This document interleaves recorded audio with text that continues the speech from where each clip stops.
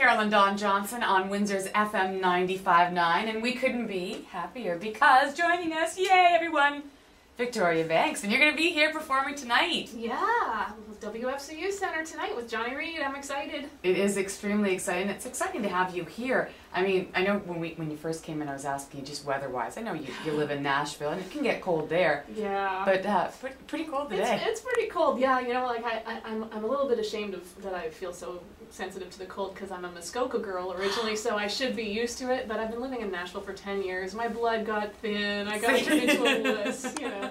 But you know what? Even though the temperature may be cold, at the WFCU Center, we know it's going to be hot. Hot, hot, hot. Oh, is it ever? Are you excited about tonight? I really am. I've been looking forward to this for a while. It's gonna be it's gonna be great. And I hear this is the first country show. Yes, it is the big kickoff celebration. We're excited here at the station too. And what's cool too is, I mean, to have you here, um, to have some of these wonderful artists, you know, in the city, and to support the station that just opened up, which is a, is a huge deal, of course. Yeah. Uh, Got to ask you, how long have you been doing this now? Well, um, I've been writing songs for other artists for a long time. That was my, my day job down in Nashville for the past 10 years. So I've written a lot of songs that people would probably recognize, but they didn't know it was me.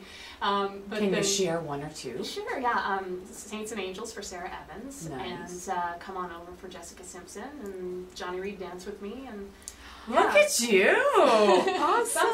uh, that's kind of you know working behind the scenes, and then finally this year I came out with with my debut album as an artist. So it's kind of cool to be standing in the spotlight for a change. That's wonderful. Yeah. That's one. I mean, that's exciting is to hear something we didn't know about Victoria Banks. I mean, look at that. Is there anything else we don't know about Victoria Banks? oh Banks? yeah, but I'm not gonna tell you.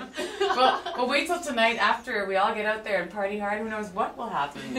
now you're going to perform t- today for us, right? Yeah, yeah. I'll play you. Uh, I'll play you actually my my brand spanking new single. It's uh, it's called Kiss Me, and it's one that I wrote by myself. I ran out to uh, get some ice cream from the store at midnight. I had a midnight sugar craving, and then I got the song idea on the way home. So I just put the ice cream on the table for a minute, so I could go, you know, just write the song down. And then three hours later, the, The ice cream was gone. puddle, total puddle, and yeah. But I, I got this song out of it anyway. So. Well, thank you very much. Well, here's Victoria Banks and Kiss Me on Windsor's FM 95.9.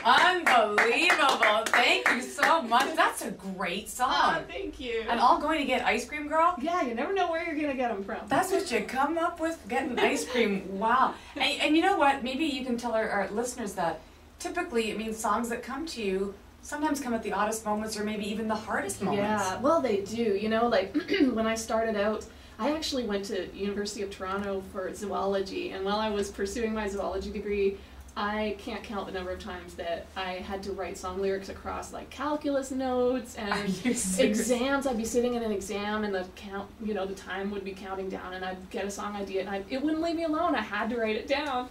Just so- sometimes at the worst times, but also it's like it's total therapy too to be able to write. And so I, a lot of the songs on, on my record are from personal experience and going through um, actually, you know, went through a time when I was pulling myself out of a marriage that was unhealthy and abusive and moving on from that and learning how to, you know, have confidence in myself again and, and fall in love again. And so there's a lot that, you know, I put into song from that too. Now, now, you talked about something interesting right there, coming out of a, a bad relationship, an abusive marriage. Yeah. Um, and you wrote, of course, but was there someone, an artist that pulled you through that as well? Oh yeah. Oh, definitely. Gosh, when I think about, I I love especially listening to female singer songwriters. That's a big passion for me. So I love listening to artists like Chantal Kreviazuk, Sarah, Oh, yeah. um, Sarah McLachlan.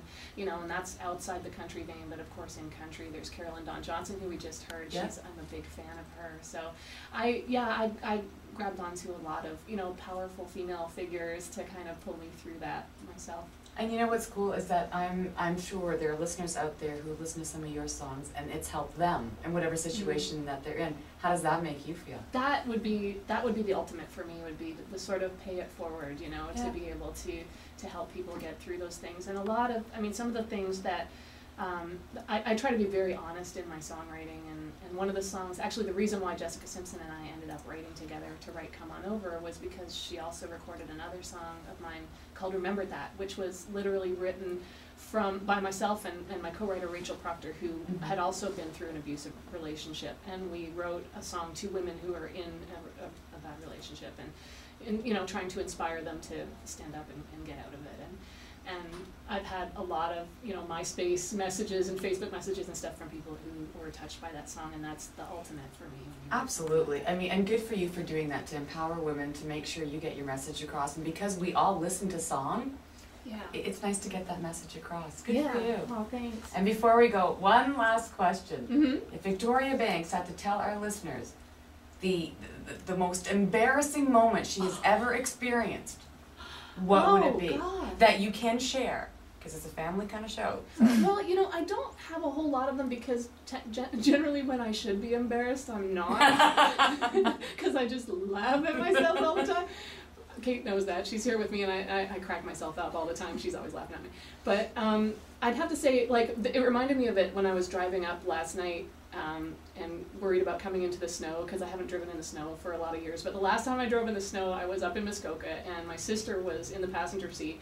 And it was a big blizzard. I was driving down the highway and I was giving her a big lecture about this is how you drive in the snow. you have to be very, very careful. You don't ever touch the brake too too much. You know, a really pompous lecture about it. And it, right in the middle of talking to her, I completely lost control of the car. I Oh, did like six donuts and ended up in the ditch. And we weren't hurt or anything, but we had to like dig our car out of the ditch. Lesson learned, huh? Yeah. So yeah. Well, you know what, Victoria, thank you for sharing that, and thank you for coming in and playing. Um, and tonight, if you haven't picked up your tickets, you still have the opportunity to do so. WFCU-center.com or charge by phone at 1-866-969-WFCU.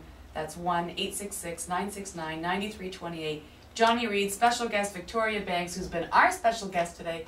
Thank you so much, hon. Thank you for having me here. I'm so excited to have a new country station here. Thanks. So are we. It's It keeps us employed. Yeah. And, and Christmas is good in my house now. yeah, that's good. Thanks so much, Victoria. And here's some more Victoria Banks and The Wheel on Windsor's FM 95.9.